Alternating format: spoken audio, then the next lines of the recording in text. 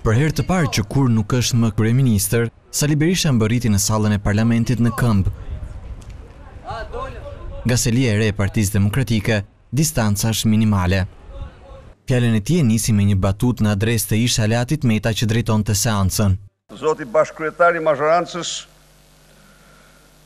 Berisha akuzoi kryeministrin Rama se me ndërhyrjet në ligjin për nëpunësin civil po kërkon të shtyjë marrjen e statusit të vendit kandidat në dhjetor. Një vendosmëri të bashkëkryetarit Rama për të shty me çdo kusht statusin nga muaj dhjetor vetem e vetem për të mos iu atribue Partisë Demokratike dhe qeverisë së saj.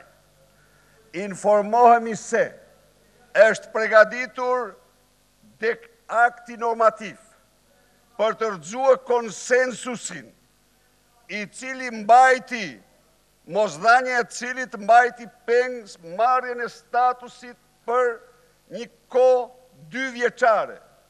Qeverinë e re akuzoi gjithashtu se ka mashtruar edhe Brukselin gjatë vizitës së fundit. Ministri i Jashtëm bashkë me kryeministrin e tij kanë mashtrue qind për qind në Bruksel për akte të cilat nuk janë ashtu siç i kanë paraqitur, por unë kam besim se kjo zgjidhet nga kryesia e parlamentit në vullnetin më të mirë që Shqipëria të mos humbasë statusin në dhjetor. Humbja e statusit në dhjetor Është një denim i madh për shkak të disa zhvillimeve të cilat zhvillohen në mesin e vitit të ardhshëm dhe që janë zgjedhjet europiane. Berisha pohoi me krenari se ka mbajtur në administratën e drejtuar prej tij njerëz të njohur si socialistë të thekur, por të ndershëm e të aftë në shërbimin ndaj shtetit.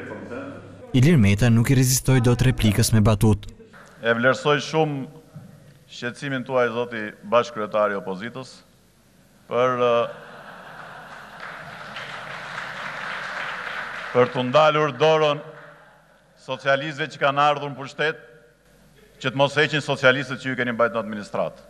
Vetëm një gjë mos më kërkoni, ta respektoj gjithmonë rregulloren kur flet zoti Berisha, këtë ju lutem mos ma kërkoni. Berisha u largua nga salla plenare pa mbaruar seanca parlamentare, përsëri në këmbë. Veprimtarinë fizike e kam patur dhe e kam gjithnjë pasion unë. Në format e veprimtarisë fizike, ecja dhe noti janë dyja që i bëj pa asnjë përtesë, të tjerave edhe u përtoj.